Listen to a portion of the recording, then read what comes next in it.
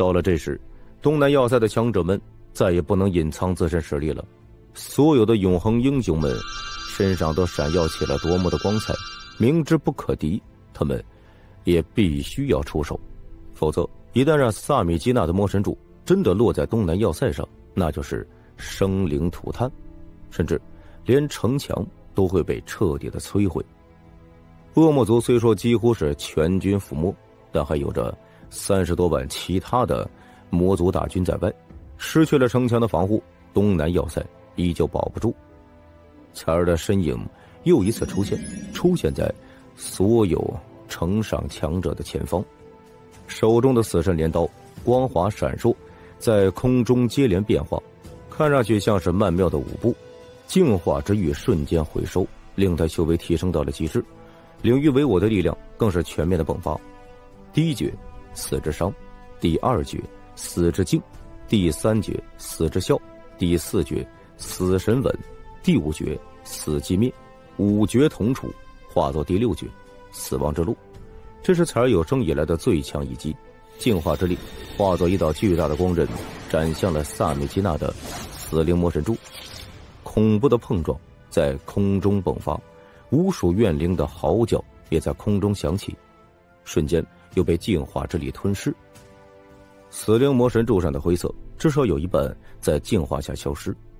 但魔神柱的本身，却是硬生生的抵住了彩儿的死神镰刀，吭的一声，死神镰刀被弹得高高扬起，而萨米基那庞大的身躯也是后退了数百米，身上的死亡气息也在大幅度下降。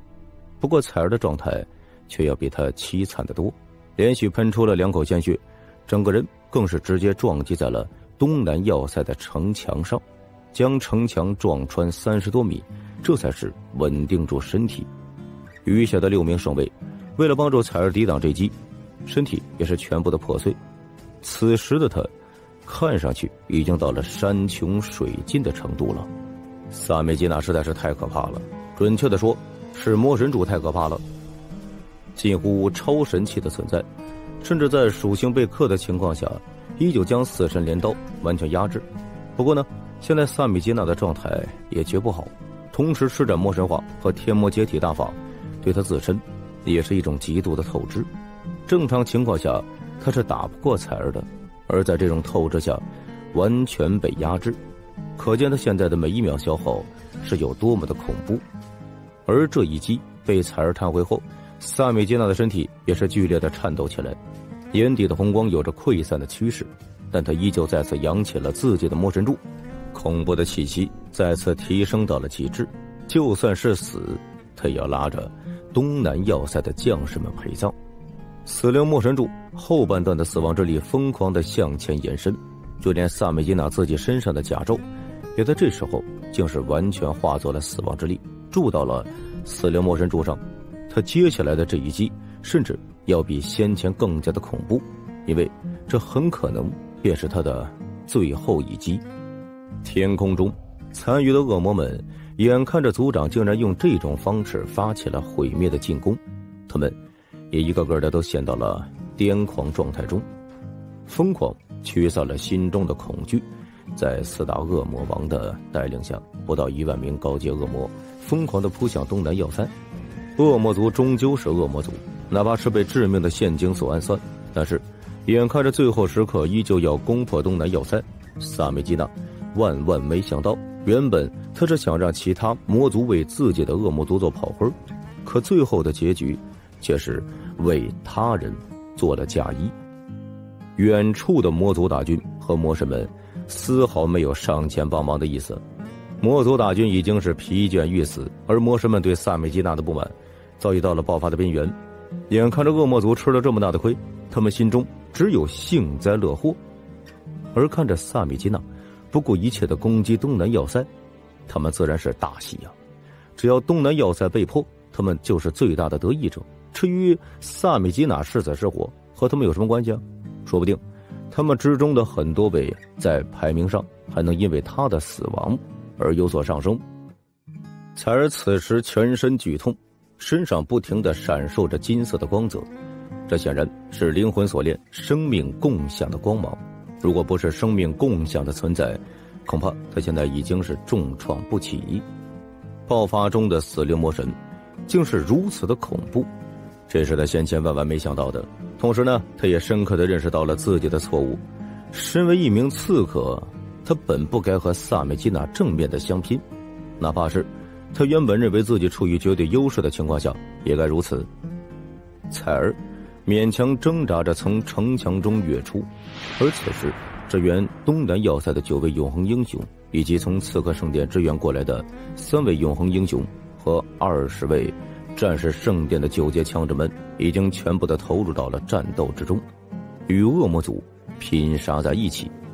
其中，邱永浩、叶三米以及另外四名永恒英雄集中一起悬浮在半空之中，各自将自身领域释放到最强，影响了从天而降的死灵魔神柱。他们都是抱着。必死的决心迎上去的，萨美基娜此时状态下的攻击威力已经达到了九阶八级以上。如此恐怖的力量，如果不用生命的代价，他们又怎能阻止得住呢？叶三迷甚至还不忘回头向彩儿微微一笑，似乎在说：“孩子，后面的战斗就靠你们的了。”风，彩儿凄厉的大叫一声。死神镰刀再一次勉强的举起，可此时的他全身疼痛欲死，剧烈的痛苦令他根本就发挥不出先前那么强大的力量，只能是再一次的释放出永恒之塔，撞向萨米吉娜。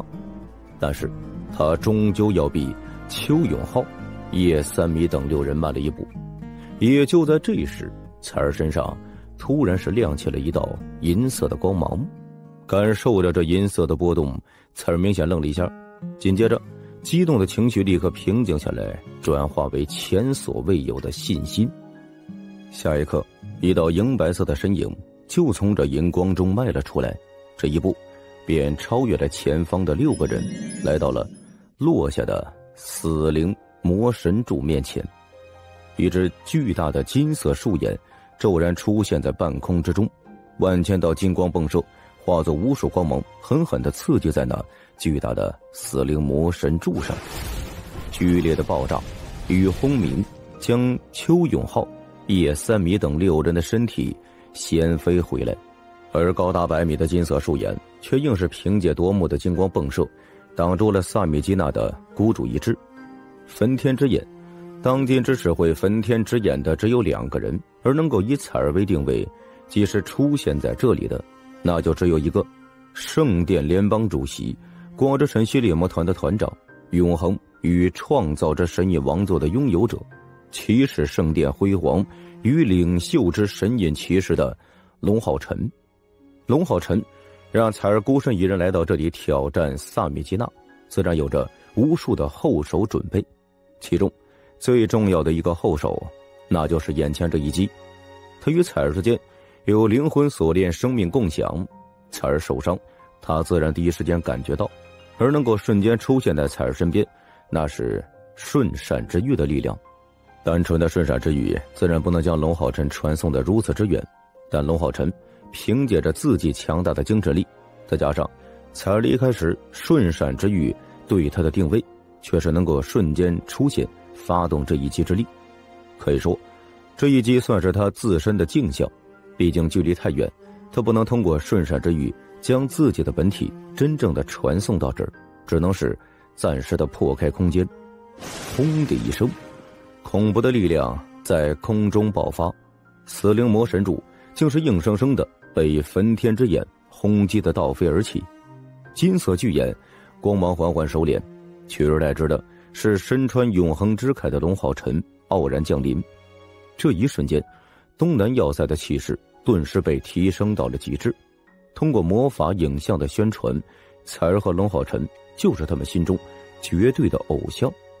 两大偶像先后出现，并且击退了死灵魔神萨比基娜，对士气的鼓舞可想而知。而且，龙浩辰的攻击还没有结束，左手中的金色巨剑举起，一点紫金色光芒在剑身上蔓延，遥遥的朝着荡气的死灵魔神柱斩去。顿时，一道看上去只有直径十余米的紫金色光刃直奔萨米基娜手中的魔神柱飞去，而他另外一只手中的银白色永恒之剑，则是闪耀着九彩光芒，朝着东南要塞城头方向一指，天空顿时变成了一片金色，下雨了，金色的雨丝悄然而降，柔和的洒落在东南要塞的城头，每一位战士、法师。被这金色甘霖洒落在身上，他们的身体都会出现一层淡金色的光晕，而同样是金色雨丝落在恶魔族身上，却是会冒起一阵阵烟雾，令恶魔们发出凄厉的惨叫。光系禁咒，神圣甘霖，以永恒之剑充当魔法杖发出的神圣甘霖，未能远远的超过了当年龙浩辰越阶使用的时候。金色的雨丝几乎覆盖了整个东南要塞城头，原本已经无比危机的战局，在龙浩镇出现后几乎是瞬间逆转。彩儿此时已经带着他的永恒之塔来到了龙浩镇身边，而远处的死灵魔神萨米基娜似乎也从疯狂的状态中清醒了过来，而清醒的原因就是龙浩辰那紫金色的一剑，紫金色光刃。准确的命中在死灵魔神柱上，先前哪怕是彩儿施展了死神七绝第六绝死亡之路，都未曾留下一丝痕迹的死灵魔神柱，竟然被悍然展开了一道深达数米的巨大裂缝，裂缝则是长达十几米，恐怖的紫金色在上面迸发。萨米基娜感受到那恐怖的毁灭气息时，才终于是清醒了过来，骇然之下。将自身剩余的力量全力以赴的灌注到魔神柱之内，轰的一声，巨响声中，萨米基娜的魔神柱被命中的那一段，竟是被他自己引动魔神柱的力量给震碎了。与此同时，他猛地将死灵魔神柱向魔族大营的方向甩出，而他自身却直奔龙浩辰和彩儿的方向，张牙舞爪的扑了过来。哪怕是对立的双方。龙浩辰也不禁暗自向萨米基娜伸出大拇指。他一到来，就发现萨米基娜的情绪不正常，显然，自己所安排的计划已经奏效，彻底让萨米基娜陷入了疯狂中。而受到皓月血脉力量的攻击之后，萨米基娜在清醒过来的瞬间，竟然就能判断出此时真正的局势，不可谓不强大。萨米基娜显然发现了龙浩辰并非本体。这是一个镜像，所以才在第一时间震断自己的魔神柱，壮士断腕，并且将魔神柱主体甩回了魔族大营，就是不让龙浩辰再有破坏自己魔神柱的机会。很明显，他的魔神柱只是断掉一截后是不会完全被破坏掉的。龙浩晨心中暗道一声可惜，而彩儿身上的荧光已经重新出现，龙浩辰银白色的身影。也随之变得虚幻起来，此时就变成了彩儿单独面对萨米基娜的攻击。彩儿现在可是恨透了这家伙呀！萨米吉娜明知道自己施展了天魔解体大法后，在眼前的状态下不会有好下场，竟是要用自爆来保住自身的魔神珠。死神镰刀高举过头，彩儿的双眸瞬间变成了白色。不止如此，就连她的头发与唇瓣。也都变成了与净化之力一模一样的白色。嗡的一声，死神镰刀剧烈的发出了一声嗡鸣，紧接着，一道巨大的白色身影就出现在了彩儿背后，彩儿自身便消失了。那巨大的身影握住死神镰刀，突然是仰天向天空中看了一眼，而就是这一眼，天空变成了一片苍茫的白色，而战场上。所有的一切也都在瞬间凝固了，白色的身影渐渐变成了实质。那是一名身材高大、相貌英俊的男子，看上去大约有三十多岁的样子，一头灰色长发垂下，他的双眼也是白色的，身上还有洁白的甲胄，只有胸口处是一颗菱形的灰色宝石。哪怕是远方的魔族大军。在这一瞬间，也是完全凝滞。这已经不是威压那么简单，而是一种难以形容的恐怖气息，而这股气息就连魔神们的魔神柱都要为之颤抖。巨大的身影手持死神镰刀，面对凝固在半空中的萨米基娜，发出了一声冷哼。紧接着，死神镰刀在空中就带起了一道白色电光，似乎在这个空间之内，就只有他自己才能有所动作。而这一斩，又是那么的迅疾，仿佛天地都在这一斩之间被破开了一般。死灵魔神萨米基娜，从头顶到下身，多了一道白色的痕迹。开始有大量的灰色气流从其中冒出，而萨米基娜充满不甘的眼神中则满是恐惧。白衣男子将手中的死神镰刀高举，那些灰色气流全部的向死神镰刀涌去，瞬间化作一圈圈白色的光晕，在空中凝滞。这个过程看上去十分缓慢，但当萨米基娜身体在空中完全崩溃。一顶死灰色魔神冠冕出现在白衣男子手中时，静止，消失了。所有的一切就像是记忆碎片一般，也同时在每个看到的人心中溃散。悬浮在空中的正是彩儿，而死灵魔神萨米基娜的尸体却是分成了两半，从空中坠落。是的，这就是彩儿在发出那一声凄厉大叫时，瞬间冲破最后阻碍。所领悟的死神七绝最后一绝，死神。当彩儿成为死神神眷者之后，他就拥有了死神七绝的能力。但是，哪怕是那个时候，他施展死神七绝也要付出恐怖的代价。真正能够使用的，也只有前六绝，与第七绝之间始终有着一层隔膜。这层隔膜，是因为他自身修为的不够，也正是因为他领悟的不足。而此时此刻，他终于是完成了。死灵圣法神，亡灵天灾伊莱克斯收采儿为徒后，真正对采儿的最大帮助，不是提升了他的修为，而是帮他将死神镰刀上面所附带的一切负面影响和反噬，全部的消除。那是伊莱克斯凭借自身半神之力才做到的。死神第七节，死神。这已经不是借用死神的力量，而是让死神的本体真正的降临在世间所发动的一击。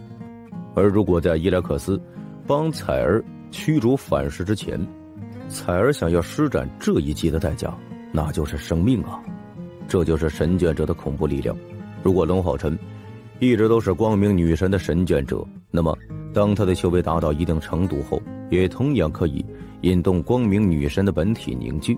降临人间，才儿引来的死神，并不是一个真正的形体，而是瞬间将死神的气息从整个位面召集过来，凝聚成形，发动的毁天灭地的一击。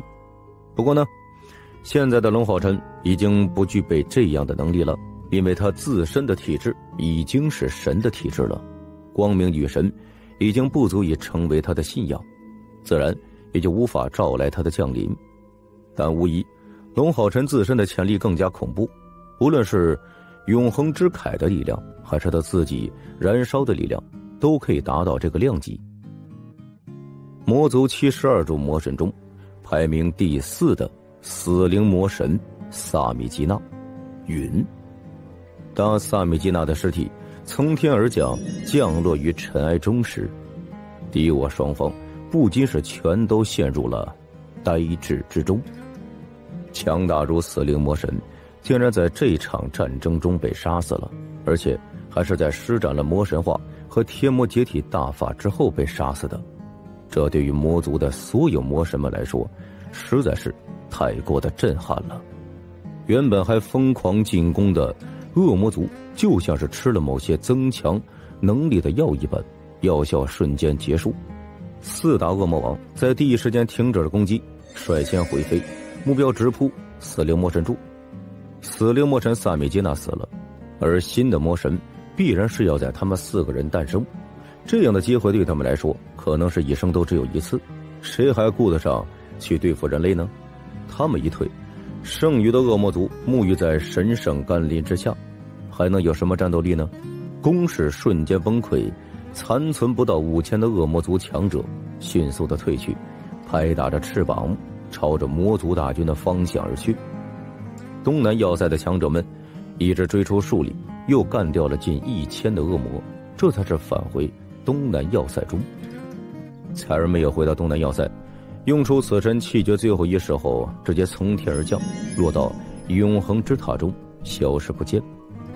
而永恒之塔就那么凭空降落在东南要塞的前方，百米高的巨塔闪烁着淡淡的净化之光，净化着战场上死去的灵魂，同时，也将这些净化之力传入塔内，供彩儿疗伤和恢复。收兵，扎营。远处魔族下达了大军撤退的命令，后退二十里，扎下营寨。在震撼之余，他们心中啊，也都各自有着算盘。这一战算是失败了，而且是大败。恶魔族损失竟是最大的，近乎是全军覆灭。就连他们这支大军的统帅死灵魔神萨米吉娜都战死了，而这战败的责任，自然也是属于这位死灵魔神了。很明显啊。东南要塞是一块超级难啃的骨头，那恐怖的魔法阵，他们是全部的看在眼中，谁还敢再率大军继续冲上去啊？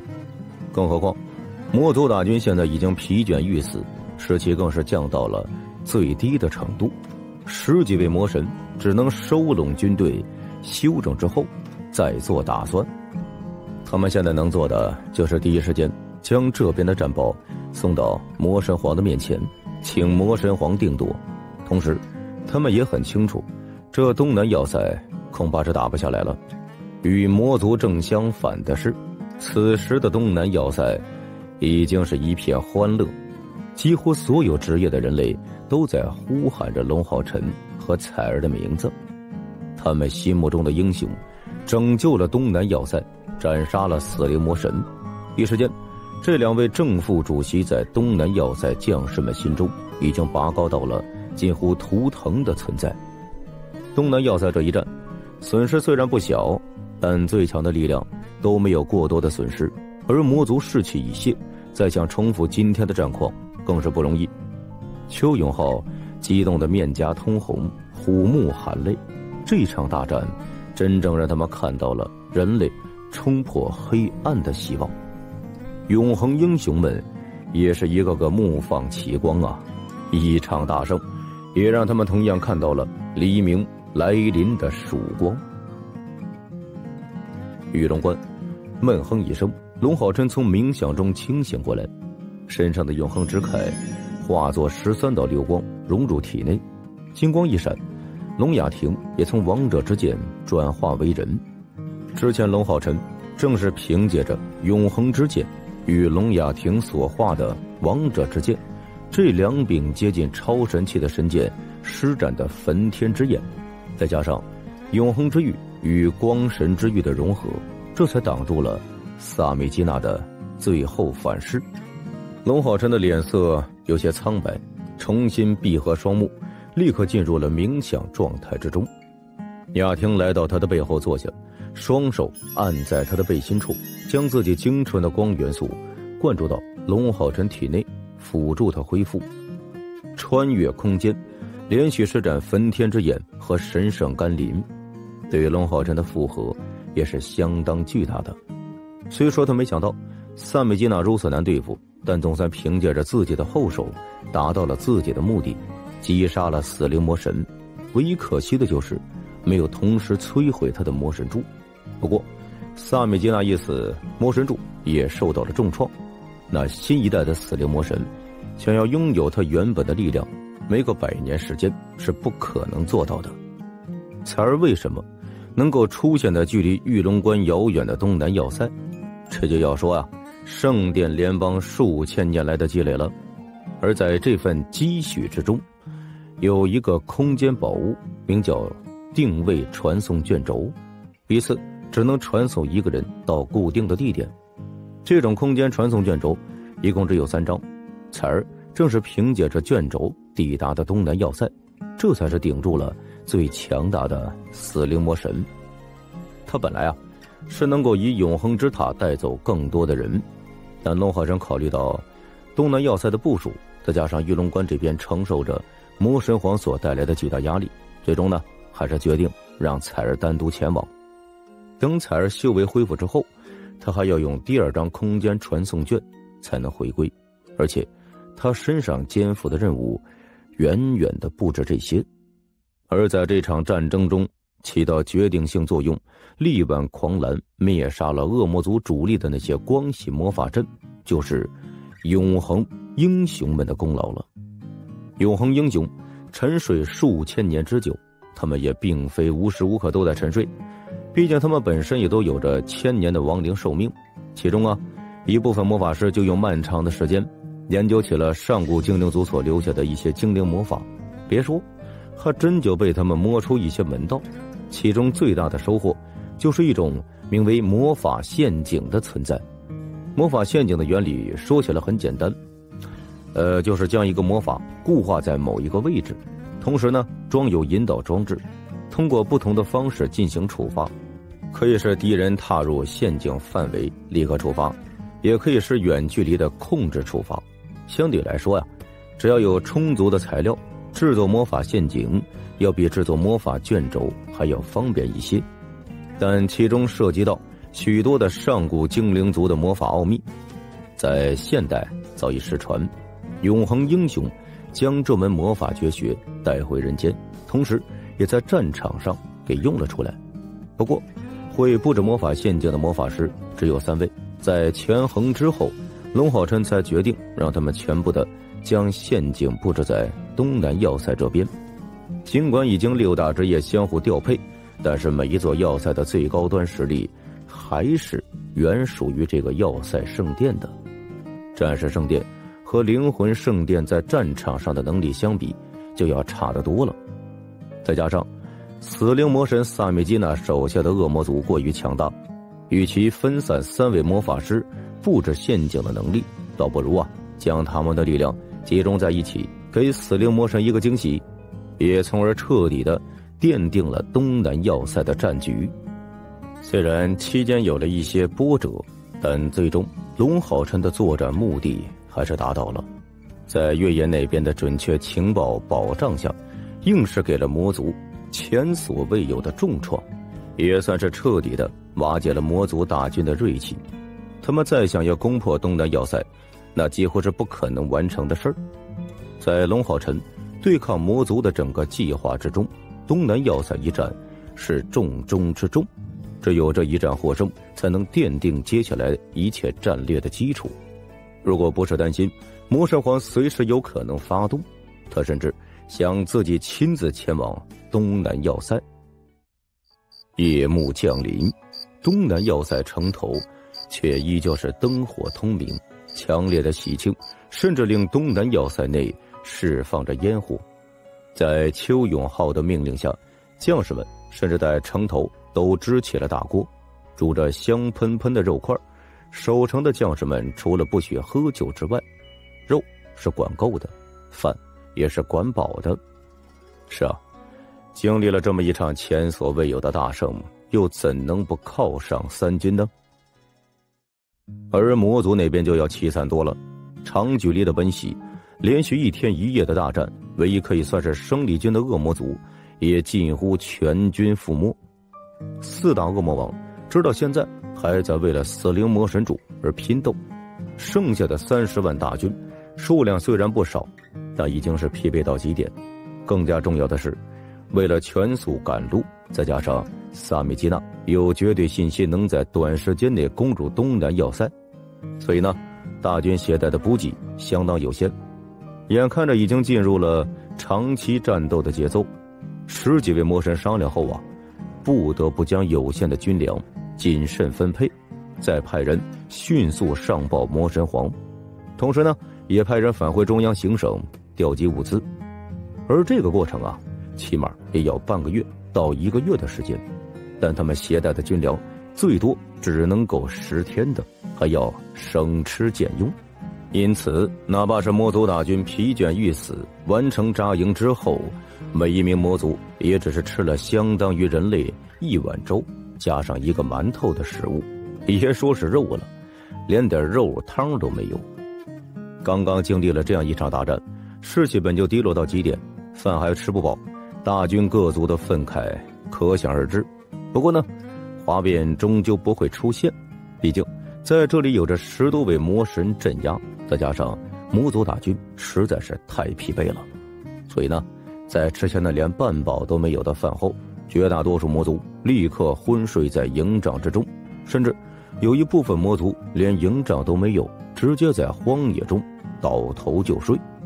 幸好这里是东南要塞，不是玉龙关，否则呀，光是天气恐怕都能让魔族大军迅速减员。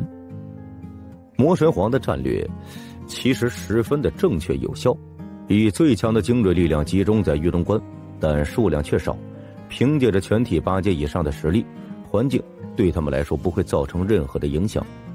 龙浩辰果然将魔神皇、月魔神、星魔神这些魔族最强者吸引在这边，但同样的，魔神皇也相信自己一样把人类的九阶强者普遍的吸引在玉龙关。他不急于发起进攻，其中一个目的啊，也就是要给龙浩辰调集人类九阶强者的时间。魔神皇绝对有这个自信，而失去了足够多的强者。至少也没有支援的情况下，东南要塞和万寿关又如何抵挡他两支大军的攻击呢？甚至可以说，萨米基娜也没有犯错。他虽然自私，但从整体的战术来看呢，只要一举攻入东南要塞，那么一切问题都不是问题。无论是魔神皇，还是死灵魔神，他们最大的错误啊，就是完全按照人类原本的力量在进行估算。却忽略了人类的真正底蕴，更是不清楚永恒英雄的出山。从某种意义上来说，这也不能算是什么错。毕竟啊，这种情况谁能预知啊？可就是因为这个样子，完全改变了战局，让魔族绝对的优势渐渐的开始走向了下坡路。东南要塞，人类欢庆，魔族大军消沉休整。这本应该是一个对双方来说都算是相当平静的夜晚，但是不平静的一幕却是悄然出现了。也不知道什么时候，东南要塞前方的那座高塔已经消失。对于这一点，魔族虽然发现了，但也并没有太过在意。采儿疗伤完毕，也肯定回到东南要塞休整。夜色弥漫，不知道是否因为杀戮太深，今晚的星月之光十分暗淡。阴云渐至，雨丝飘落，竟是下起了小雨。不过，魔族的身体抗性一向很强，哪怕是下雨了，那些睡在外面的魔族也没有醒转的意思。他们实在太疲倦了，就算是那十几位坐镇的魔神，也都纷纷休息。一场大战刚刚结束，虽然他们也十分郁闷，但也没有想过东南要塞会有什么动作。夜越来越深。雨也是越下越大，一名睡在较为低洼地带的狼魔，被蔓延到自己鼻子处的雨水呛醒了。他爬起了身子，高壮的狼魔睡眼惺忪的看了一眼天空，心中暗骂：连老天都在作对。大晚上的下雨，